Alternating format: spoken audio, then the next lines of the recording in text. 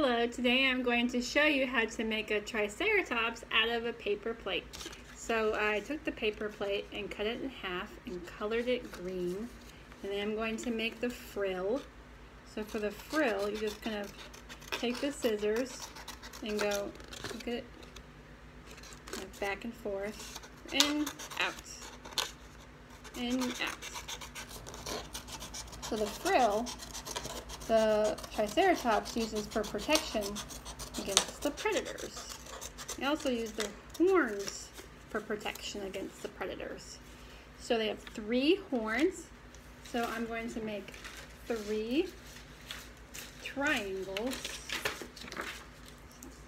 One. How many sides does a triangle have? Three sides three horns. Tri means three. Cut those out. Two on top of the head and one kind of closer to the beak.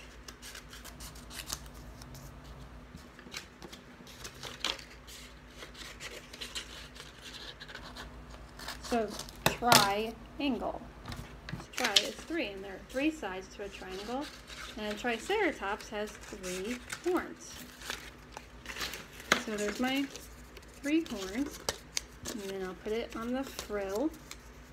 Put two at the top.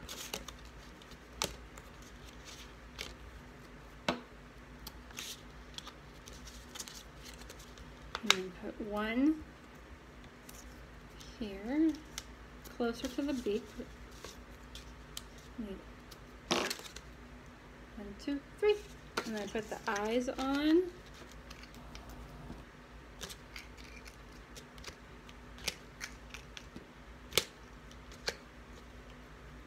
And then I made a little beak like this.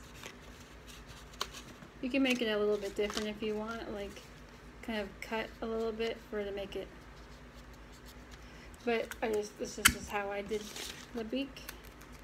What does a triceratops eat? They eat plants. What's a plant eater called? Herbivore. Herbivore. And then we have a little tree. And you can even make a mask out of this. So you put a hole punch here, put the yarn, and then instead of googly eyes, you would just cut out eyes and put it for a mask. So either one. And hopefully this week we will make a dinosaur that's a carnivore because so far we've made Stegosaurus who eats plants, Brachiosaurus eats plants, and a Triceratops eats plants.